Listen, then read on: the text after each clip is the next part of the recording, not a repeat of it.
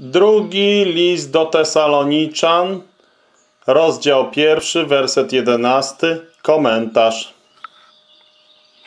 W tej myśli też modlimy się zawsze za was, aby Bóg nasz uznał was za godnych powołania i w mocy doprowadził do końca wszystkie wasze dobre zamierzenia i dzieła wiary.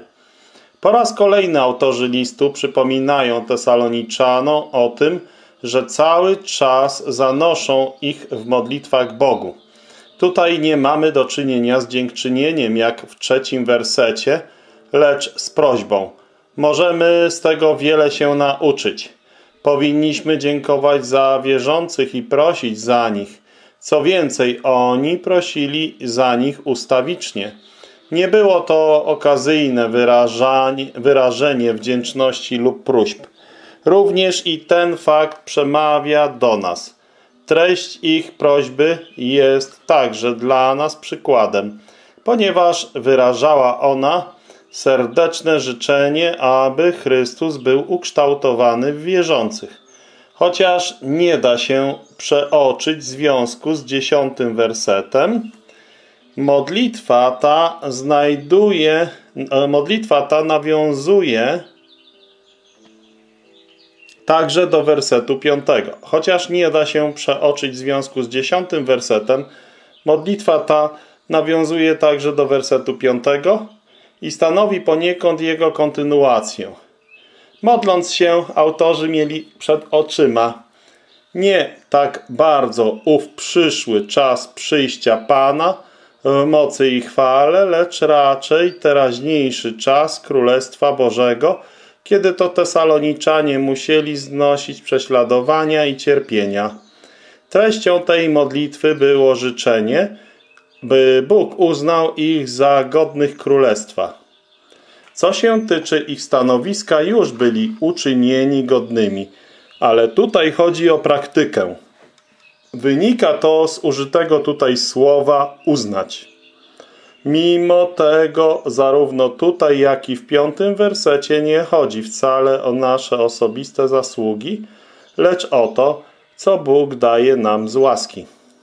Powołanie zasadniczo odnosi się do jakiegoś, do czegoś, co już posiadamy. Widzimy to w Efezjan 4:11, ale może odnosić się także do czegoś przyszłego. Efezjan czwarty rozdział, jedenasty werset. I on ustanowił jednych apostołami, drugich prorokami, innych ewangelistami, a innych pasterzami i nauczycielami.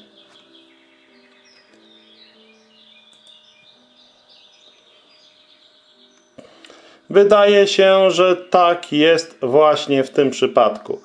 Gdy powiążemy ten wiersz z piątym wersetem, możemy pociągnąć tę linię dalej wstecz, aż do pierwszego listu, w którym Tesaloniczanie zostali napomniani, by prowadzili życie godne Boga, który was powołuje do królestwa i chwały.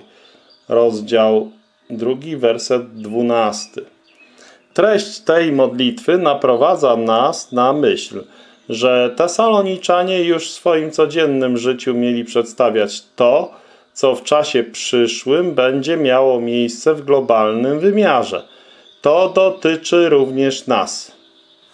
Nadchodzi dzień, w którym widoczny dla wszystkich sposób będziemy odbiciem chwały Pana.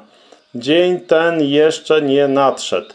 Cel ten jeszcze nie został osiągnięty, ale już w naszym codziennym życiu może uwidaczniać się chwała Pana.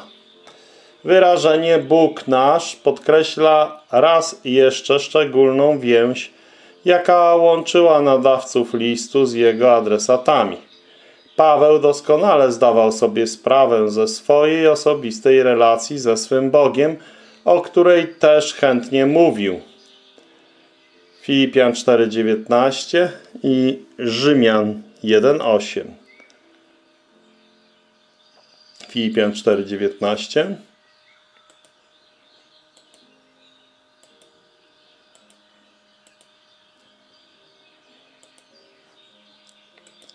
A Bóg mój zaspokoi wszelką potrzebę waszą według bogactwa swego w chwale w Chrystusie Jezusie.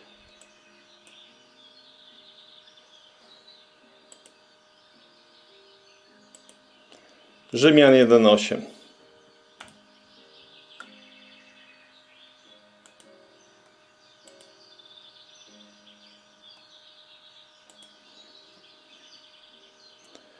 Najpierw dziękuję Bogu mojemu przez Jezusa Chrystusa za was wszystkich, że wiara wasza słynie po całym świecie. Ale aby zachęcić odbiorców listów tym w ich trudnym położeniu, przypomniał im jeszcze raz, a wraz z nimi i nam, że wielki i wszechmocny Bóg jest naszym Bogiem.